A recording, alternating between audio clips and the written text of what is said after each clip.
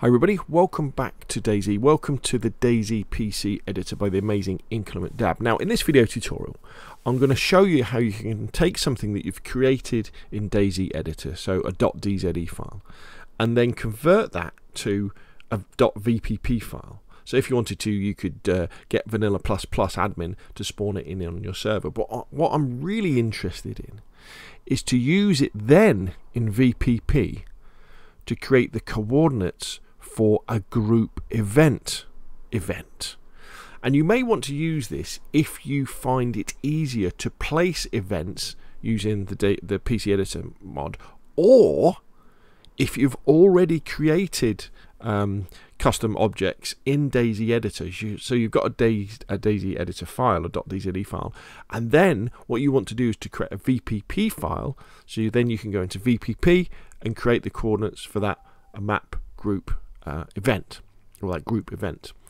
Now, at the time of recording this video, there is no option to export to a map group event. Um, but by the time you come to watch this video, it could be that Inclement Dab has added that feature. And once he has, this technique I'm using here uh, will be a bit null and void. You'll just be able to go to um, File, Export, and it'll probably have something like Export to Group Event or, or, or Event Group, something like that. But we don't have that at the moment. So what you could do is when you first get started, just go File and then open whatever DZE file you want to take into VPP to turn into um, a VPP spawn player thing or uh, a group event. So in this case, I've got a really simple. It's, just, it's a shipwreck scenario. So the idea is I'm trying to create um, a map group event where, as players are wandering along the coast, they don't just come across the normal little boats. There's these there's these larger wreckages that have larger lifeboats with more kit in them, and they could also swim out to a little bit of the superstructure of a boat, and there might be some kit out there. Um, so, so I want to turn this into a map group event. So the first thing, obviously, save it to a .dze, or if it's a new .dze, you know, bring it in. Bear in mind that at the moment, as far as I'm aware, map group events or group events, all the items, all the structures have to be flat, so you can make them go up and down. So we can make, you know, we, we could do this. We can make them go up and down. Um, we can um, spin them around um, and the, and you you know you can move around this way. But what you can't do is change the roll the uh, roll and the pitch. So you, you can't you know kind of do this with stuff, which is a bit of a shame. Maybe there'll be a workaround soon. Maybe there is one already, and I just don't know. So you just got to make sure that you, when you're placing everything, it, it is flat.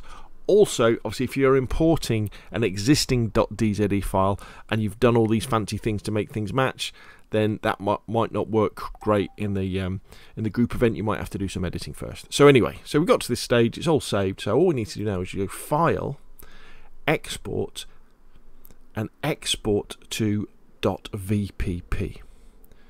So there we go. So export to VPP.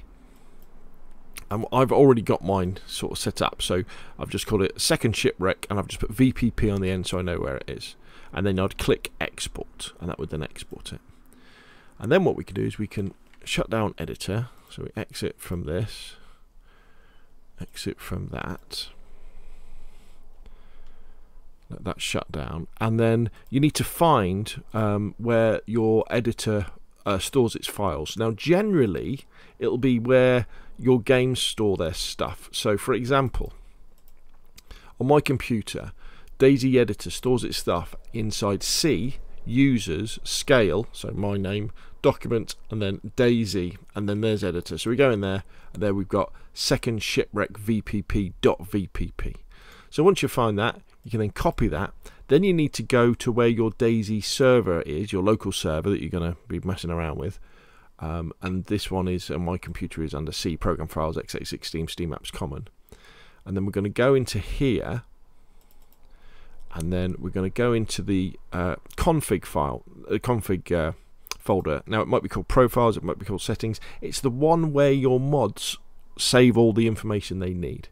And then we go down to VPP admin tools we go into configurable plugins, go into building set manager, and you just paste that in there. And as you see, I've already got it there, second shipwreck vpp.vpp.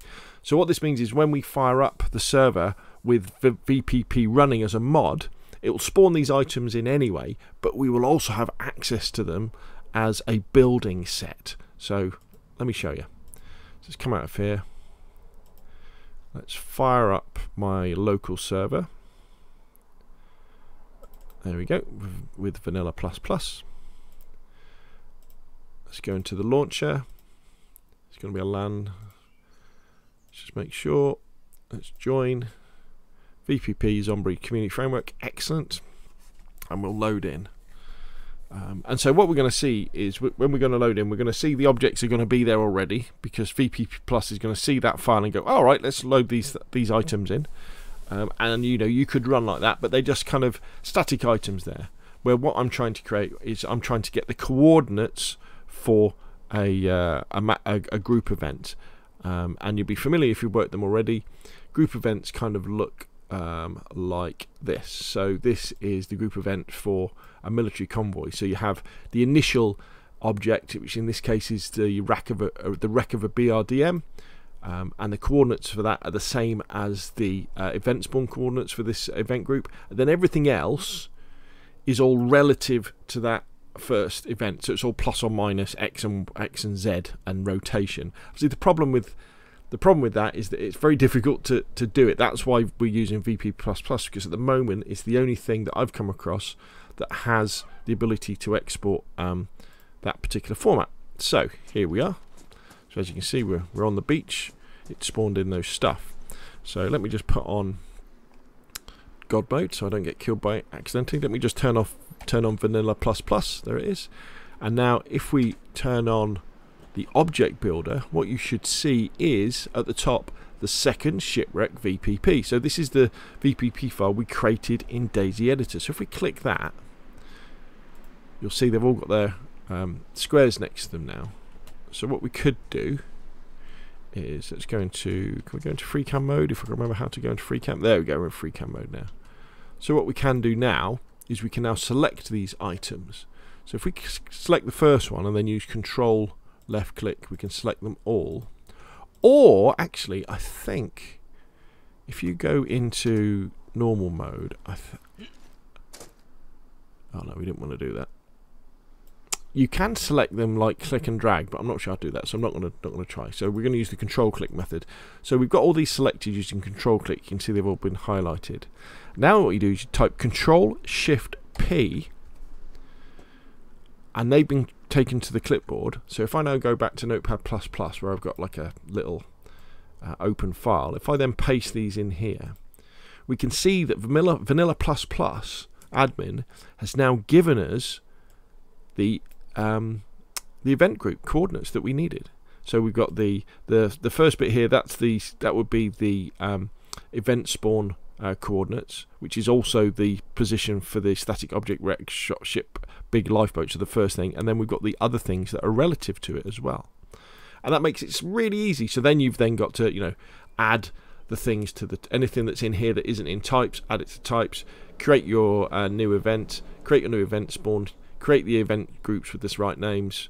Um, maybe play around with the map group proto if you need to, and then you've got your group and that is uh, pretty cool. So it, it's very good for people who are more comfortable with placing objects using DayZ Editor than they are with placing objects using the builder in um, uh, Vanilla++. Plus. So to give you an idea of what it may well look like if you import a large thing, let's go to Sinystok and show you something where I've converted a large .dze sort of custom JSON. Here we go. This is where. It would be. here we go. So what you've got here. Go to FreeCam.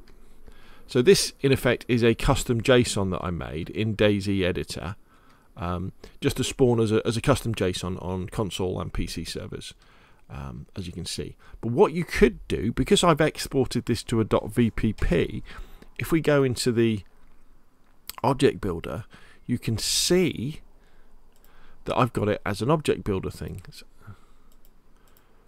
So we can click that one there. And now, see, it's, it's all the objects. Is it going to let me? No, so let me do it. So what we could then do now is we could then select all of these bits and then create a uh, group event. So we could do something like this. I don't think you can shift click yet. I'll have to... Uh, so Dewan has made this amazing mod. I have to ask him to add that in.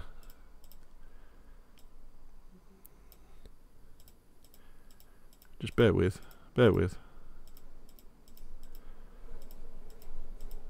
So we've selected all of those. So now I can do Control Shift P Go to our little notepad here and paste them in with Control V. Oh, did I uh, press something wrong? Control Shift P. So that's copied. Then Control V. There we go. So there we have the um, event group coordinates for that entire thing. So you could have an, uh, a dynamic event that spawned in a castle. Now, a castle probably isn't the best example, but you could means you could then have these quite complex structures that would be random events that people would come across on their map, um, which I think is a really cool thing. And, and you've just got to kind of use your imagination and think, okay, what could that be? Could it be like an island in the middle of a lake? Could it be a new island that's off the edge of that's in the sea? And you could pretend that that, that island is only appearing at low tide, and that's why it's there.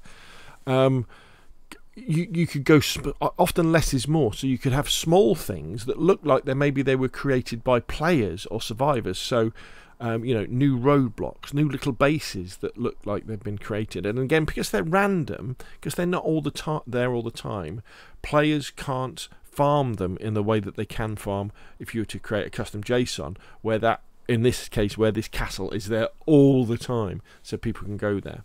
I mean the disadvantage obviously if it's an event and it's a big object like a castle you don't you don't want people coming here and then thinking oh i'm going to build a base here and then the castle disappearing on them. That wouldn't be very good. Um, but there we go. Um, so hopefully you found this video useful. If you have hit like. If you want to see more of the same press subscribe. And i will of course see you again soon